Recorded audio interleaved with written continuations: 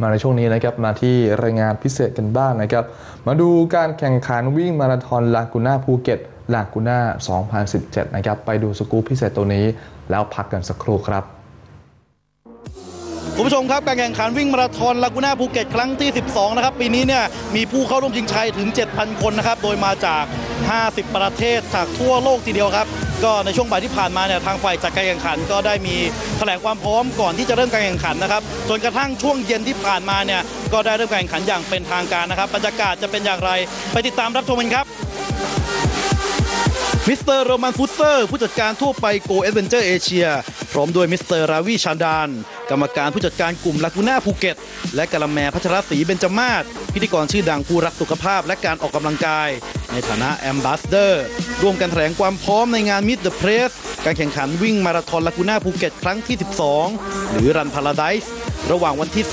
3-4 มิถุนายนนี้ ที่โรงแรมอังสนาลากูน่าภูเก็ตเมื่อช่วงบ่ายที่ผ่านมาสำหรับการแข่งขันวิ่งมาราธอนลากูน่าภูเก็ต ถือเป็นรายการวิ่งมาราธอนชั้นนำของเอเชียอาคเนย์ที่มีชื่อเสียงระดับโลก โดยปีนี้นะครับจะขึ้นเป็นปีที่ 12 ติดต่อกันแล้ว มีผู้เข้าร่วมชิงชัยกว่า 7,000 คน จาก 50 ประเทศทั่วโลก แบ่งการแข่งขันออกเป็น 2 วัน โดยวันแรกจะชิงชัยกันในช่วงเย็น หรือ sunset มี 3 ระยะทางนะครับประกอบด้วยยุวชน 2 กิโลเมตร บุคคลทั่วไป 5 กิโลเมตร และไฮไลท์ประจำวันคือบุคคลทั่วไป 10.5 กิโลเมตร ซึ่งมีกาละแมร์พัชรศรีเบญจมาศพิธีกรชื่อดังจะร่วมแข่งขันด้วย ส่วนวันที่ 2 นะครับ จะเป็นการชิงชัยในช่วงเช้าหรือ sunrise มี 2 ระยะทาง คือวิ่งระยะ half marathon 21.097 กิโลเมตร และมาราธอน 42.195 กิโลเมตร ไฮไลท์สำคัญของการแข่งขันครั้งนี้ เนื่องจากมีผู้เข้าแข่งขันมากถึง 1,600 คน ซึ่งนับได้ว่าเป็นสถิติสูงที่สุดตั้งแต่จัดงานมา ค่ะ ก็รู้สึกเป็นเกียรติมากค่ะที่ทางลากูน่าภูเก็ตนะคะได้เชิญมาให้เป็นเป็นชาย ambassador ในการวิ่งครั้งนี้ค่ะ เพราะว่าเป็นการวิ่งที่ยิ่งใหญ่มากค่ะ มีคนมาวิ่งถึงแบบ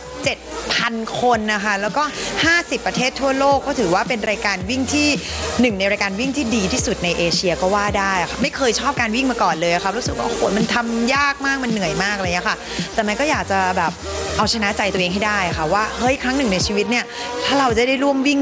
งานแบบที่เขาเป็นเรื่องเป็นราวเป็นจริงเป็นจังเป็นแบบ international เนี่ยเราจะทำได้ไหมขณะเดียวกันก่อนที่จะเริ่มทำการแข่งขันรายการแรกนะครับ ตูนบอดี้สแลมหรืออาทิวราห์คงมาลัย นักร้องเพลงร็อกเบอร์หนึ่งของไทยนะครับ ได้มาร่วมลงทะเบียนและรับหมายเลขประจำตัวการแข่งขัน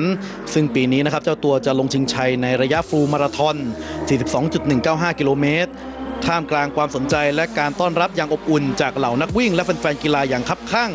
ร้อมกันนี้นะครับฝ่ายจัดการแข่งขันยังมีเซอร์ไพรส์วันเกิดย้อนหลังให้กับตูนบอดี้สแลมเมื่อวันที่ 30 พฤษภาคมที่ผ่านมาอีกด้วยที่ลากูน่าภูเก็ตจะเป็นอีกรายการหนึ่งที่มาประจำทุกๆปี ปีแล้วก็มาใช่ครับสองเพราะอะไรปีที่แล้วก็มา คือประทับใจการจัดการของสนามนี้ แล้วก็บรรยากาศของสนามมันมันเป็นมืออาชีพมาก แล้วก็เอ่อ สนามก็ไม่ไม่ยากจนเกินไปแล้วก็ไม่ง่ายจนเกินไปมันก็ท้าทายดี อย่าเรียกว่าแข่งขันเลยฮะเรียกว่ามาเป็นส่วนร่วมแล้วกัน เพราะว่าเราเราสิ่งที่เราอยากจะทำได้คือเราอยากจะชนะเวลาที่เราเคยทำได้ในในปีที่แล้วอะไรเงี้ยหรือว่าเราก็ซ้อมมาเพื่อที่จะทำให้มันดีขึ้นอะไรเงี้ยก็ไม่ได้แข่งกับคนอื่น แข่งกับเวลาที่ตัวเองเคยทำได้แข่งกับตัวเอง ด้านผลการแข่งขันวันแรกนะครับ ประเภทบุคคลชายทั่วไป ระยะทาง 10.5 กิโลเมตร ปรากฏว่ามาคัสอังจากสิงคโปร์นะครับเข้าเส้นชัยมาเป็นอันดับหนึ่งด้วยเวลา 36 นาที 24 วินาทีคว้าแชมป์ไปครองนะครับ ขณะที่บุคคลหญิง